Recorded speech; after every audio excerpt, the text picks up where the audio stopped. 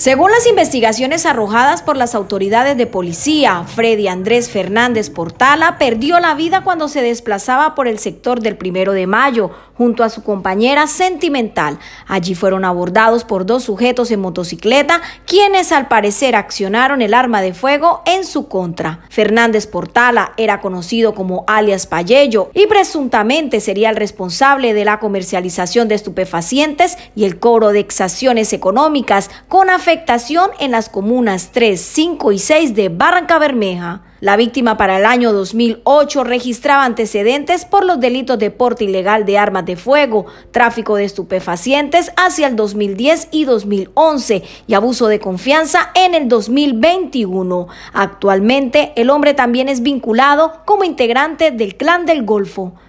Los posibles controles territoriales serían al parecer la causa principal en la muerte de este hombre de 34 años.